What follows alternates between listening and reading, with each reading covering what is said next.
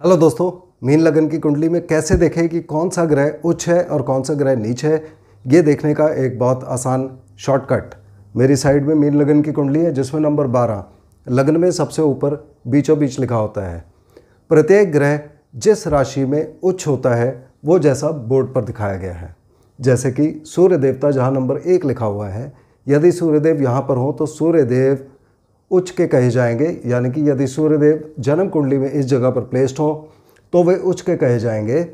और इसी तरह बाकी सब ग्रह किस राशि में उच्च होते हैं, वो बोर्ड पर दिखाया गया है। आप इसका स्क्रीनशॉट ले लीजिए, ताकि ये इन्फॉर्मेशन आपके पास अवेलेबल रहे। और हर ग्रह जहाँ भी उच्च होता है, उसके बिल्कुल ऑपोजिट अगर जन्म कुंडली में प्लेस्ड हो तो वह ग्रह नीच का कहा जाता है या नीच राशि में आ जाता है।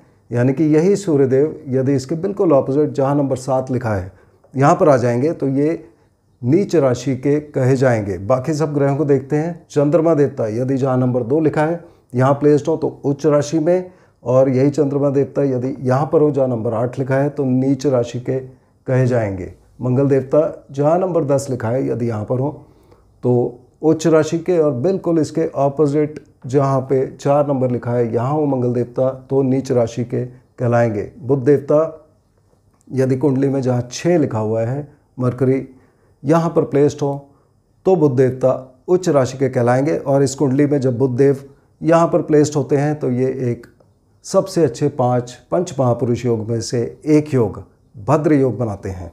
यही बुद्धदेव, यदि इसके बिल्कुल ऑपोजिट जहाँ बारह नंबर लिखा है, यहाँ प्लेस्ड हो, लग्न में तो ये नीच राशि के कहलाएँगे।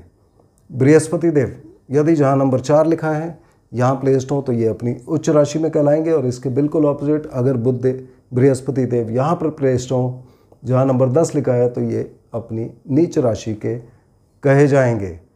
शुक्रदेव अगर लग्न में हो, जहाँ नंबर बारह लिखा है तो शुक्रदेव अपनी उच्च राशि के कहे जाएँगे और शुक्रदेव जब इस प्लेसमेंट में होते हैं, मीन लगन की कुंडली में तो ये दूसरा पंच महापुरुष योग, जिसको मालव्य योग बोलते हैं, वह योग भी बनाते हैं। और यही शुक्रदेव अगर एकदम ऑपोजिट यहाँ प्लेस्ड हो, जहाँ नंबर छः लिखा है तो ये नीच राशि के कहे जाएँगे। शनिदेव, यदि आठवें भाव में जहाँ नंबर सात लिखा हुआ है, यदि यहाँ पर प्लेस्ड हो तो शनिदेव नीच उच्च राशि के कहे जाएँगे।